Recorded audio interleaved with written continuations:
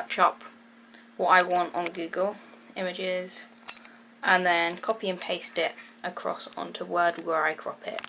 Then I need to scale them down to size and then you're ready to print them off. Now all the decals I want currently have been printed, ready to be cut out and glued onto the station.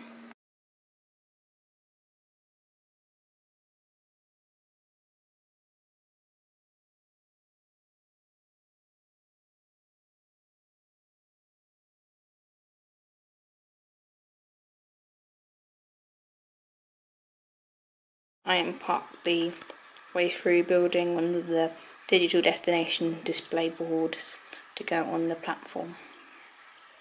Glued, it is now drying and I'm going to wait it for set and then I'm going to put it on the station.